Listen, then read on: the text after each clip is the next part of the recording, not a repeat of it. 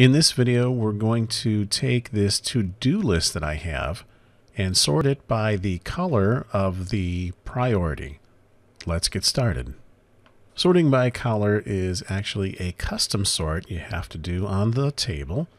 So to do that, I'm going to come up to the first item in the table and click on the drop down in the priority column.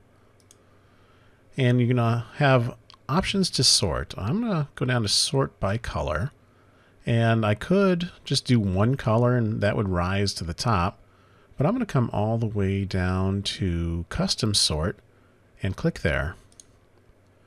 In the custom sort, I am going to choose to sort by priority. And for sort on, I'm going to choose cell color. So I want the highest priorities at the top, so I will pull that from the drop down. So it's going to be that light red color.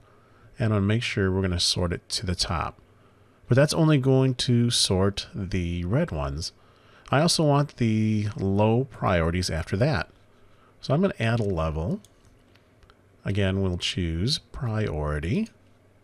Again, cell color. It's already chosen the light green, so that's good, and we want it on top. We don't have to add a line for the complete color because it's the last one and it will be pushed all the way to the bottom. So I'm going to go ahead and click OK.